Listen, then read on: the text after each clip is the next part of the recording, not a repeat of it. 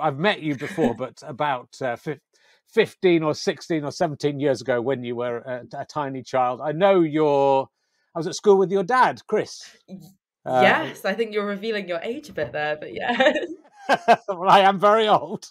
Uh, and uh, yes, yeah, so just uh, it's the uh, Kings of Wessex Old Boy Network has finally pulled off something good.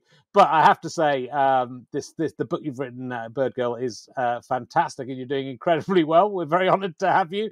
Uh, I, I, wish I could tell you some stuff about your dad, but I can't remember anything too scurrilous. It's so it's so long ago. Uh, what I what I didn't know was that he was a he seemed quite cool at school. Uh, you clearly didn't hear about the birds came, then. Did, he did not mention uh, the bird watching, which is uh, which is what this book is all about. I feel like the bird watching stereotype. It's it's not me. It's always sort of a middle aged white bloke, and so I've sort of I yeah. spent my whole life with people going, but like, why why bird watching? Like of all hobbies, why bird watching? And so like originally I wanted to write Birdgirl just so someone could read it and be like, oh yeah, okay, I, I kind of get it.